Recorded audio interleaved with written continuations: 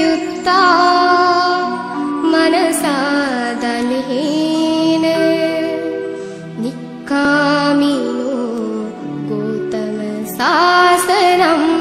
हि ते पत्थिपत्था अमतं विगैः लब्धा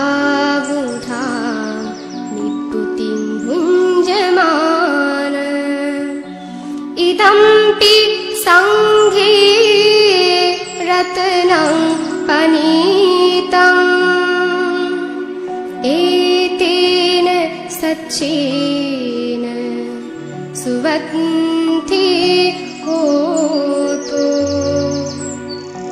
यथिन्दखिलो पठविंसितोऽसिया चतुर्भिवा तेभि असम्पकम्पियो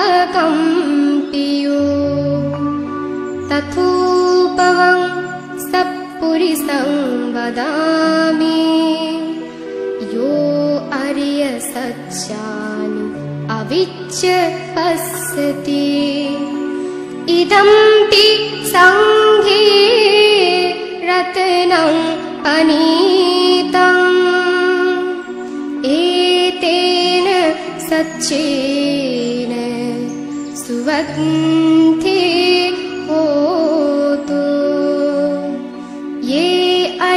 अर्यसच्चानि विभावयन्ति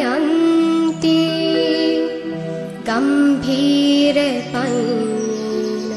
सुदेशितानि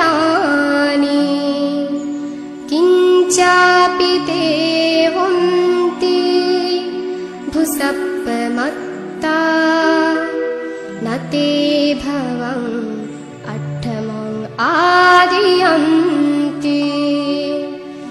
इदम्पि सङ्घे रत्नं पनीतम् एतेन सच्चेन सुवन्ति होतु।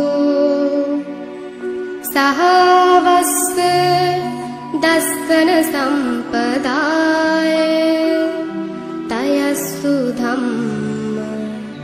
जनिता भवन्ति। सखाय दिट्ठी विचिकित्सितञ्च शीलव्रतं वापि यदत्ति किञ्चि चतुर्पाये हि च विप्पमुक्तो छच्छाभिठानानि